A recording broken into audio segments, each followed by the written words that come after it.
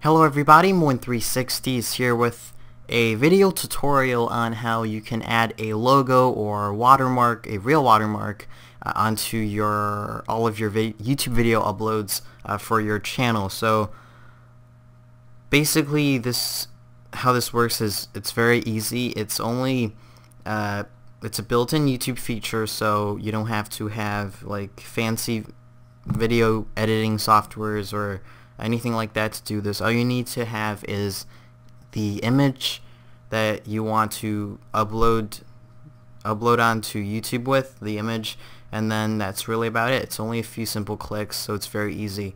Um, two reasons I like doing it's good to have like a watermark, especially using the built-in YouTube feature is that number one, you get a subscribe button when you um, hover over the watermark with your mouse. And the second thing is that it's clip it's clickable. So basically, if someone just just click clicks on the image that you uploaded, it shows up on your all your videos. So uh, if you just click on that, it will bring it will bring them to the chan your channel. So that's a good thing. So that's why I like doing it, and it's really easy. So let's get started. So first, open up your web browser, and um, I want to head over to YouTube.com, of course, and we're going to do this through the um, YouTube programming, YouTube in video program feature.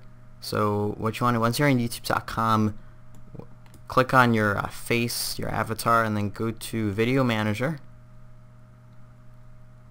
And then once you're once you're on Video Manager, click on the left sidebar. There's a list of options. Click on Channel Settings.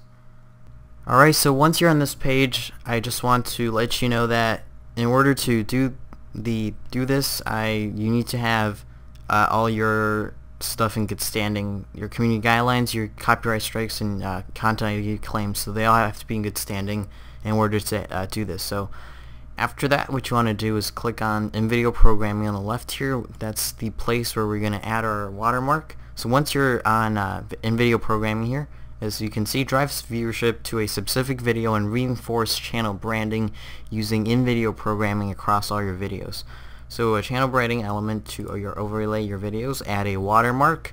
So basically once you add it to, this watermark, it will show up on all of your videos your future uploads or and your current uploads uh, and um, so just want to add a watermark just click on add a watermark and then it says upload a watermark and as you can see uh, either like some for the best results use transparency just one color uh, they have a diagram to show you uh, what's acceptable and what's not so as you can see uh, recommended file format is PNG or GIF and um, Maximum file size is 1 megabyte, so you want to upload images that are less than 1 MB. So choose the image file they actually want to upload. Choose my here. And once you've done you've done that, click on save. And then uploaded watermark your uploaded watermark just to see if uh, that's the one you want and then just click on save and then you're done. Uh, boom, you're done here. So um, you you used to can like change the position of where you want it, but that's not the case anymore. So, uh, but anyways, you can uh, the on the right here you've got some options. You can make it to the display time, the end of the video, or the custom start time. A custom start time you can set or the entire video. So for me, I'm just going to choose it to the entire video and update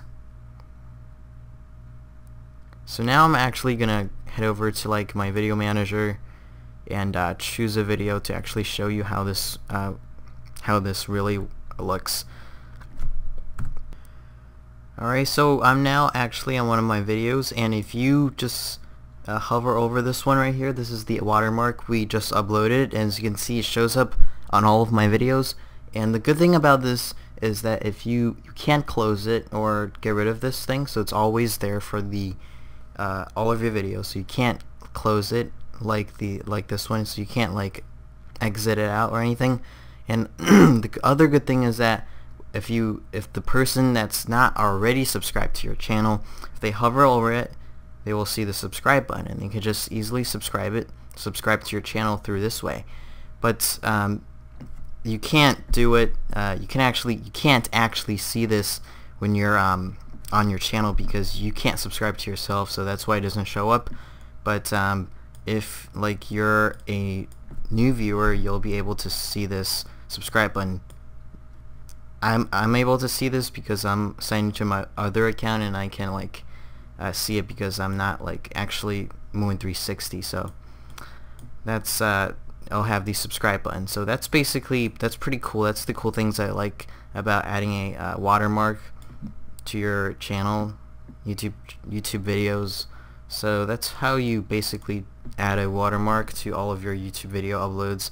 I hope this video helped and let me know if you have any questions and uh, yeah thank you guys for watching make sure you comment subscribe and like and uh, watch more of my videos in the future please. Thank you guys. Have a great day. Bye bye